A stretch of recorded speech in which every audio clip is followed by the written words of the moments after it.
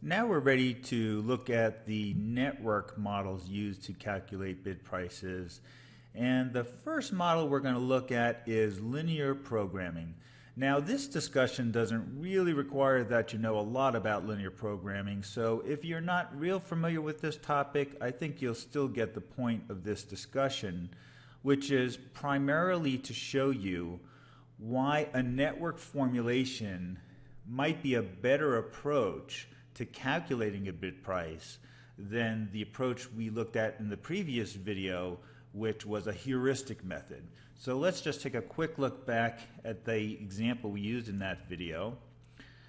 So here was the sample network we were using to illustrate the network flows and the different fares and bid prices. And we used our heuristic model to calculate this, this bid price. And we pointed out that this model, the heuristic model, only looked at one leg at a time when calculating the bid price. And the problem with that is passengers flow across more than one leg in the network on itineraries often. Sometimes there's only uh, nonstop customers, but this customer is going from Boston to JFK to Miami. This customer is going from LA through JFK to Miami. And when we make a decision on one leg without considering the impact to the network, we lose valuable information and may uh, may calculate an inaccurate or suboptimal bid price. The network formulations attempt to consider all the impacts to the network while making decisions at the leg level. And I'll show you what we mean as we go through the linear programming model. So let's go back to that. Okay, so we're going to write down a linear program that can be used to calculate bid prices across an airline's route network. We're going to look at the model that was first introduced by Elizabeth Williamson in her MIT thesis back in the early 90s. It's a straightforward linear program. It's a deterministic linear program, meaning uh, there are no probabilities associated with the demand forecast. And I'll point out what I mean by that as we go through the model. But let's start with the objective function. So linear programs start with defining the objective. What are we trying to do? Well, in revenue management, our job is to maximize revenue. So let's see, I'll start over here and try to leave myself enough space. So we're going to maximize revenue. And now we need to define what revenue is, how we're going to calculate revenue. In this model, we are going to calculate revenue by summing all of the revenue that the airline produces across the network given the seats that they allocate to different fares across the network. So let's start filling this in. So the way you would calculate network, uh, excuse me, revenue is you would multiply the fares that the airline is charging multiplied by the seats sold at those fares. So F fare is an input variable, so the airline knows what fares it's going to charge. X in this case is the decision variable. So we are going to go through and calculate how many seats to sell at each fare in order to maximize revenue. Now, the level at which we're going to do this is called the ODF level. And I'm going to, oops, I missed an F there. O, ODF. So we're going to sum across all the ODFs. I'm going to write this definition down here somewhere. I think I'll have enough room if I do it here. And ODF is basically the itinerary level. It's the origin, origin, destination. Uh, it's probably pretty hard to read, but uh, fare class. So if you remember back to our sample network, in fact, I think I'll try to go there quickly. There it is. So the sample network, so the origin uh, in this example is Boston, the destination is Miami, and the fare class is Y. So that's the ODF.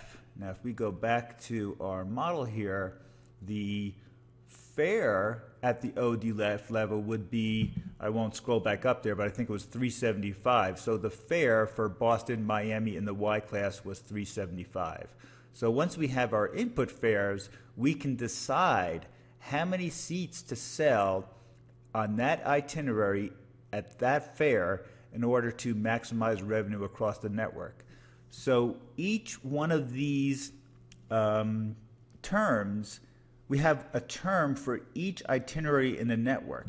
And you can imagine on a real airlines network, there are many, many origins, many destinations, and many combinations of origins and destinations and fare classes. So this becomes a very large model very quickly. Okay, so now let's put in some constraints. So we're going to maximize revenue, but we have to do that subject to some constraints. So we're going to write, if I can get my pen to work, subject to, subject to uh, some constraints. The first is called the capacity constraint. So what we need to do is make sure we don't sell more seats at a given fare than we have physical seats to sell. So this is called the capacity constraint. So we're going to sum up all the seats we sell on each itinerary, ODF, and make sure that they're not greater, let me make sure I complete the model here, ODF, not greater than the physical capacity of the airplanes. So we're going to say C is the capacity and J is the leg. So this, this constraint says that for each itinerary that flows over each leg in the network, we don't sell or we don't allocate more seats than we have physical seats. So let's say uh, this is for all uh, ODFs across um, uh, on legs J. Okay?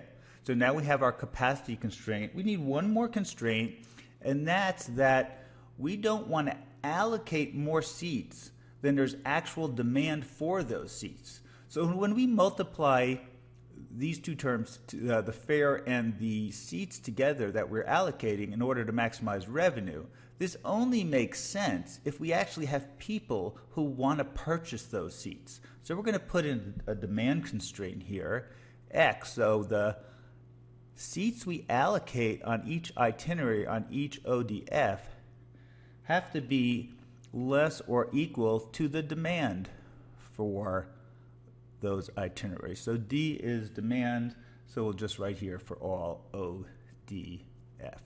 Okay?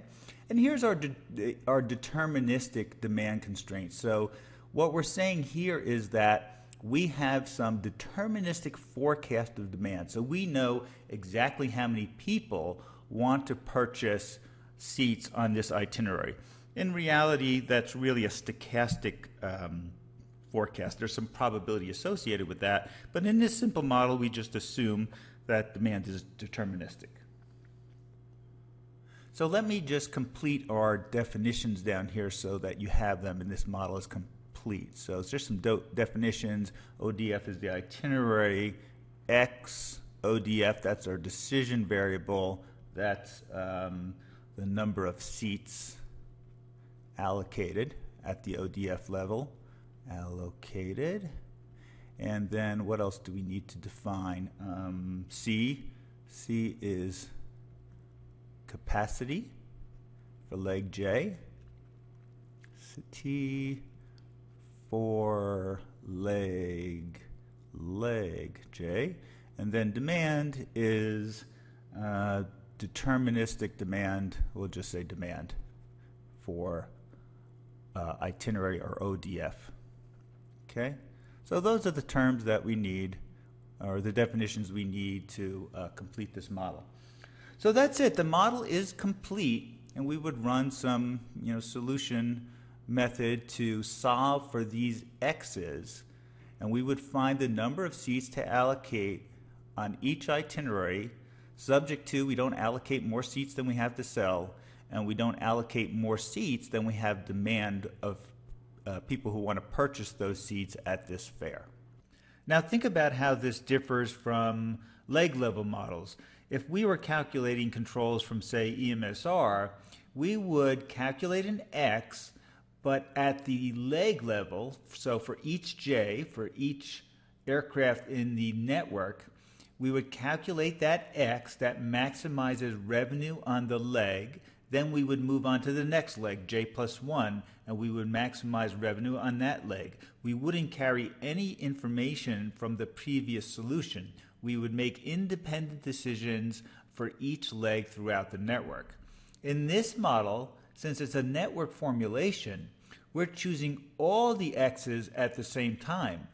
And the, the choice of x for a particular itinerary, a particular ODF, impacts the decision we make for the next itinerary. So if I allocate seats on this ODF, I may have fewer seats to allocate on the next ODF because in the network, the itineraries overlap. Let's just take a quick look back at our example network to drive this idea home. Let's say I was starting with a leg level model, uh, say EMSR, to calculate protection levels on the JFK Miami leg. And let's say the revenue maximizing decision was to allocate all the remaining seats to the M fare class at $150 because that's where the demand was. Because that's a leg level model, I'm not considering that there might be demand at higher fares that cross this leg from other origins. So maybe there's uh, demand for $400 for LAX Miami or uh, 375 for Boston Miami if I make this leg level decision and those seats get sold at $150, I could be uh, leaving money on the table at the network level. With the network formulations with this linear programming model, we consider all of those impacts before coming up with the optimal allocation. So we're deciding how many seats to sell on each itinerary at the same time, and then summing that revenue up across the network and seeing if that's optimal, then in effect we're comparing that to other combinations of allocations across the network until we come up with a combination of seats that maximize revenue for the entire network at once. Now notice something here is that we've just completed the model. There's no bid price here. The decision variable is actually an allocation. So this looks like we are going to perhaps feed into the airline's reservation system the number of seats we want to sell on each uh, itinerary. In reality, inventory systems really don't work that way. Reservation systems don't work that way. That's why bid prices become so useful and so practical is that instead of loading all of these allocations, you can imagine how many itineraries an airline network would have. Instead of loading all of those decision variables into the reservation system, we come up with one bid price per leg, and we load that into the reservation system, and that becomes a much more man- manageable amount of data. So I think we're running a little long here. Let's continue this in the next video.